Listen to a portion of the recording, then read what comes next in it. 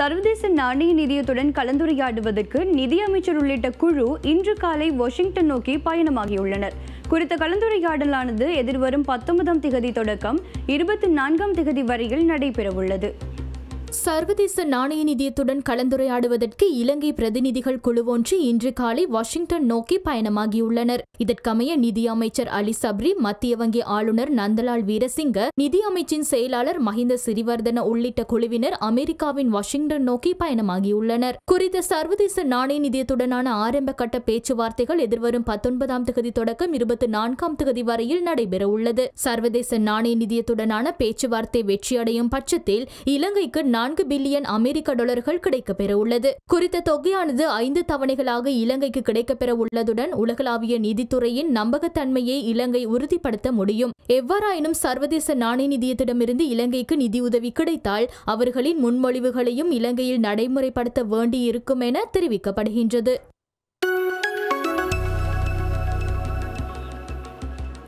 காலி முகத்திடலில் இரவு பகலாக முன்னெடுக்கப்பட்டு வரும் மக்கள் போராட்டமானது இன்று ஒன்பதாவது நாளாகவும் தொடர்கிறது. இதேவேளை நாடளாவிய ரீதியிலும் ஜனாதிபதியை பதவி விலக கோரும் ஆர்ப்பாட்டங்கள் தொடர்ந்து இடம்பெற்று வருகின்றன.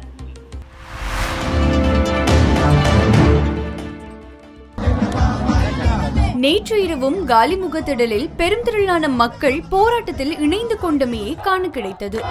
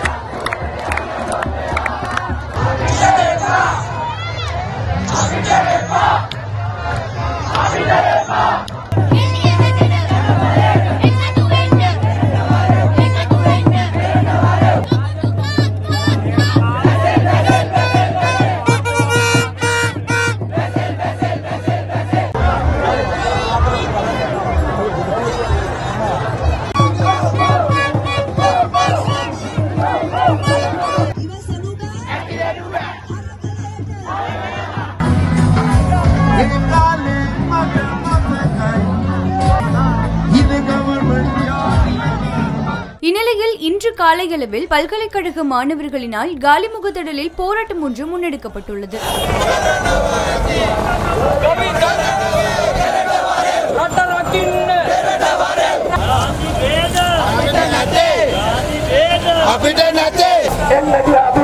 இதேவேளை கொழும்பில் போராட்டக்காரர்களால் அமைக்கப்பட்டுள்ள கோட்டாகூகமுவின் கிளை நகரம் ஒன்று கண்டி ஜோர்ஜ் இடி சில்வா பகுதியில் அமைக்கப்பட்டு போராட்டங்கள் மேற்கொள்ளப்பட்டு வருகின்றன.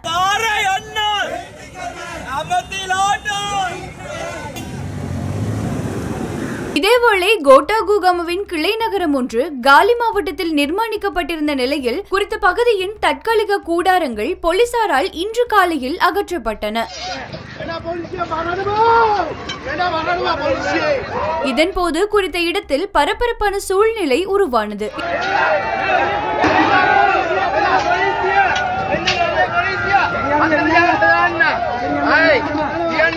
இதனை அடுத்து தற்போது சட்ட ரீதியான அங்கீகாரத்துடன் குறித்த இடத்தில் கூடாரங்கள் அமைக்க அனுமதி வழங்கப்பட்டுள்ளது. குறித்த பிரதேசத்தில் முன்னைய விட பாரிய கூடாரங்கள் அமைக்கப்பட்டு வருகின்றமையும் குறிப்பிடத்தக்கது.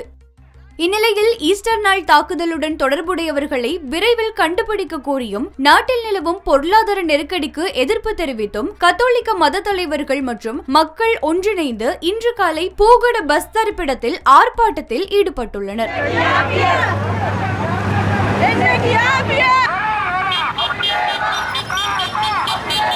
இதேவேளை ஈஸ்டர் தின தாக்குதலுக்கு நீதி கோரி கம்பஹா மாவட்டத்தில் போராட்டம் ஒன்று இன்று இடம்பெற்றுள்ளது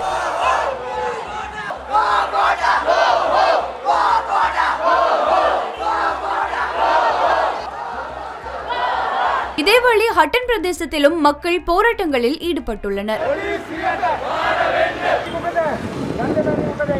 ಸಂಜಯ್ இதேவேளை விவசாயத்தில் பாதிக்கப்பட்டமைக்கு எதிர்ப்பு தெரிவித்து ரத்தினபுரி மாவட்டத்தில் எரிபொருள் நிரப்பு நிலையத்திற்கு முன்னிலையில் போராட்டம் ஒன்று முன்னெடுக்கப்பட்டுள்ளது.